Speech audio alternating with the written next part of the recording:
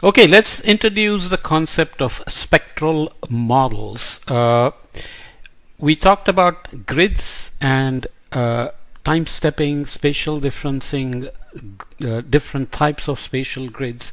They were all in the XY coordinate uh, you know trying to cover the sphere because ultimately this is about climate modeling.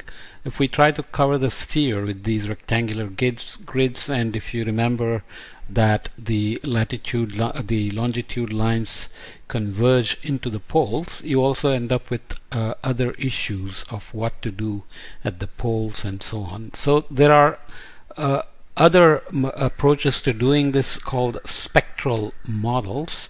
Uh, so if we go back to our uh, simplified uh, one version of the shallow water equation where we had set uh, rotation to zero and did some uh, uh, derivation of the d eta dt and du dt term to get this this wave equation del square eta del t squared equal to gh grad square eta uh, now this can be represented as eigenfunctions of the Laplace operator on a sphere of radius r. That's a lot of jargon. If you know what eigenfunctions are, you know what the Laplace operator is, and you know we are on a sphere. Basically, this is very simple. Ax equals uh, lambda ix, and such uh, uh, uh lambda is the uh, eigenvalue and uh, any uh, representation that is possible with a uh, a minus lambda i x equal to 0 gives us eigenfunctions and so on. I'm just being very superficial here but either you know it or you read it up or you just kind of uh, glide through this explanation here.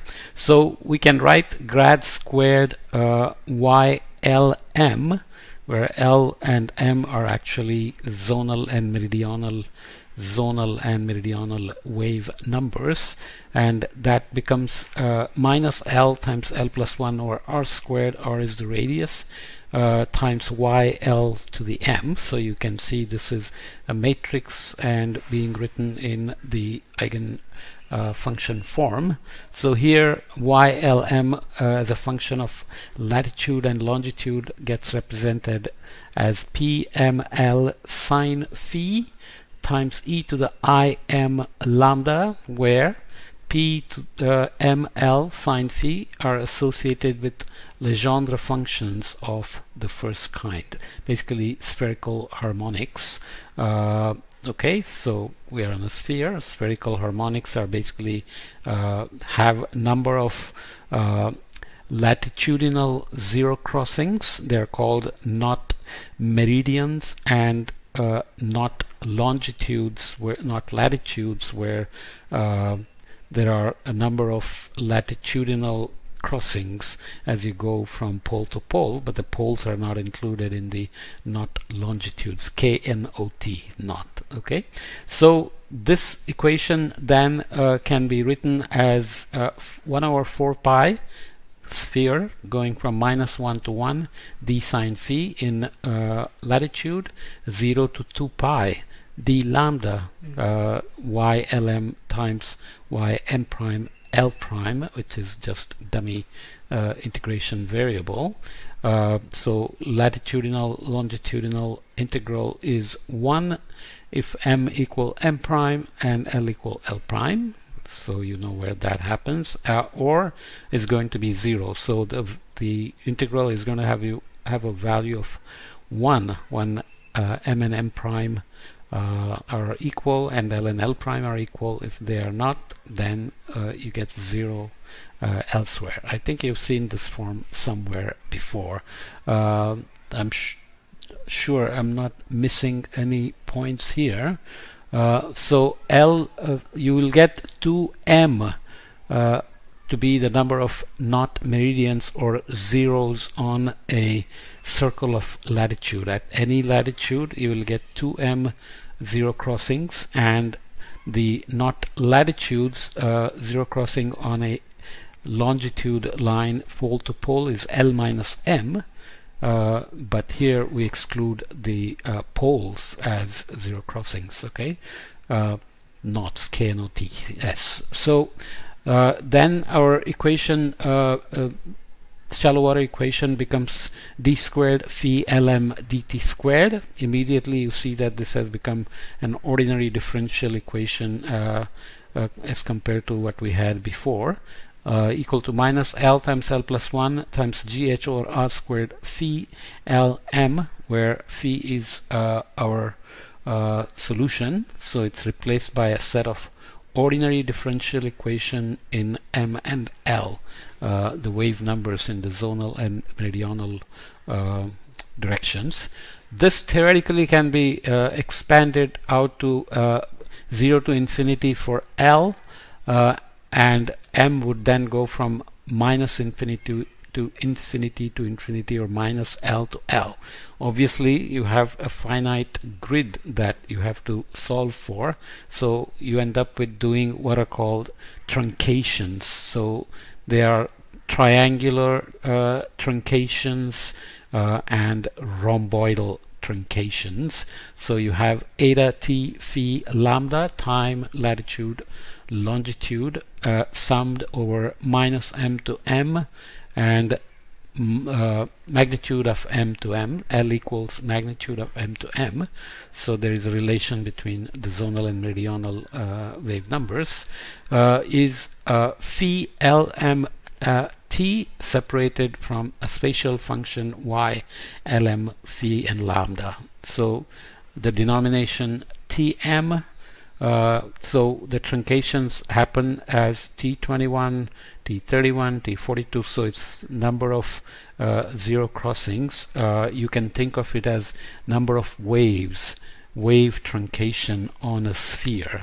Okay obviously the higher the number of wave crossings you allow higher the resolution uh, you in with, with which you are capturing uh, your uh, solution and if you have very low resolution uh, like R15 R21 you will not even be able to represent the eddies uh, that are so critical in especially in mid-latitude atmosphere for example uh, where you get close to the baroclinic instability and so on. And the rhomboidal uh, truncation with denomination Rm looks like uh, this uh, eta t phi lambda becomes again minus m to m and magnitude of m plus magnitude of m plus m equal to phi lmt uh, y lm phi and lambda. So they look similar but just depends on how you truncate uh, the uh, knots in meridian and uh, longitude latitude okay? Knot meridian and knot longitude. So this is just an example. We had looked at uh, rectangular grids, grids before. As I said, we get into this uh, pole singularity, and often people uh, move the pole and place it on Greenland. All kinds of adjustments are made uh, to get numerically past the singularity of the pole. It's called a pole problem. And here are two spectral element representations, uh, triangular here and hexagonal here. So things get fancier there is uh, always more and more ideas emerging as to how best to represent uh, the sphere and how to write the equations in them. Uh, nothing is free as we said before. There are other problems associated with spectral models like how to represent the Coriolis force uh, and what else can we get into? Um, spectral models are much more complicated and coupling uh, when you increase resolution uh, obviously there will be coupling between individual wave numbers which makes for life to be more complicated. Uh, so treatment of nonlinear terms and Coriolis effects also becomes oops I don't know what happened there. Problematic so we have to be careful. So spectral models uh, lots of uh, models are spectral models and often when we represent the results uh, let's say as maps of temperature humidity winds whatever uh, we say term, uh, the truncation is at T356 or now you even have very high resolution models with T1500 and more uh, which obviously have finer and finer grids which means you again go back to saying what is the effective resolution in the spectral model uh, how many kilometer by how many kilometers so you still end up thinking like a rectangular grid uh, after you do your uh, spectral truncation and do your simulation and present the results as global maps okay? I mean I'm going to leave it here. You can read up more if you are going to get into modeling but otherwise just take it as an introduction to uh, spectral models and some of the issues in representing the sphere with the uh, spectral uh, grid or spectral elements as they are called. In the ocean it's not very common spectral grid because you have boundaries. Atmosphere is global so it's uh, easier but even there you have to represent topography and so on so spectral truncation can introduce numerical errors there, produce false waves, Gibbs phenomenon and so on and so forth.